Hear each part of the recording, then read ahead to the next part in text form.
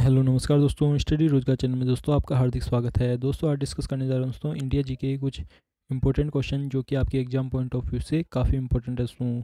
तो दोस्तों, बने रहिए हमारी वीडियो के साथ दोस्तों। तो आज का पहला क्वेश्चन दोस्तों, बिहार में टिन खनिज किस ज़िले में निकलता है दोस्तों? तो गया ज़िले के अंदर निकलता है दोस्तों, सबसे ज़्यादा टिन खनिज बिहार के अंदर दोस्तों, गया ज़िले के अंदर दोस्तों।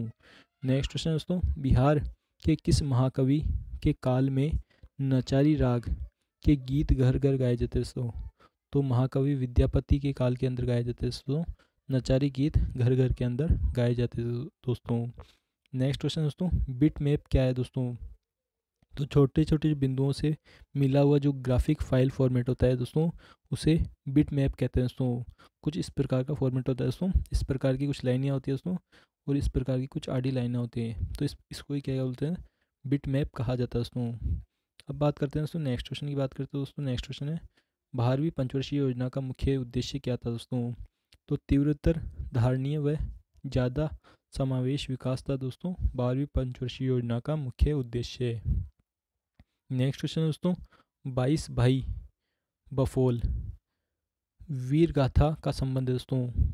तो कुमाऊँ से है दोस्तों, बाईस भाई बफोल वीर गाथा का संबंध दोस्तों।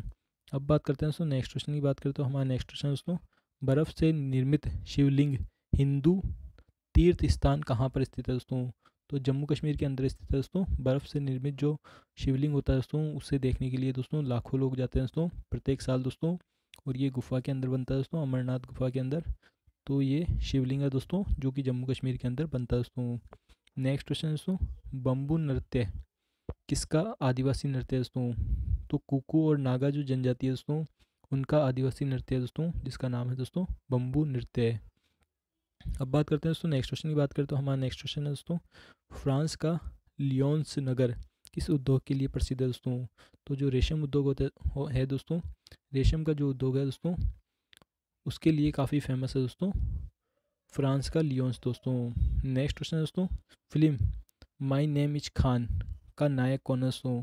तो माई नेम इज़ खान के जो नायक है, उनका नाम है दोस्तों, शाहरुख खान है दोस्तों, उनका नाम शाहरुख खान है दोस्तों माई नेम इज़ खान के नायक दोस्तों। नेक्स्ट क्वेश्चन दोस्तों, प्रोटीन जिसमें उत्प्रेरण उत्प्रेरण की क्षमता होती है दोस्तों, कहलाते हैं दोस्तों। तो उन्हें क्या कहते हैं दोस्तों? एंजाइम कहलाते हैं दोस्तों, जिन प्रोटीन के अंदर उत्प्रेरण की क्षमता होती है दोस्तों। तो दोस्तों, आशा करता हूँ वीडियो बहुत पसंद आया होगा। अगर वीडियो पसंद आया तो उसे एक लाइक कीजिए दोस्तों, और अभी तक चैनल को सब्सक्राइब नहीं किया तो प्लीज़ इसे सब्सक्राइब भी कर दिए दोस्तों। तो दोस्तों अंत में thank you for watching me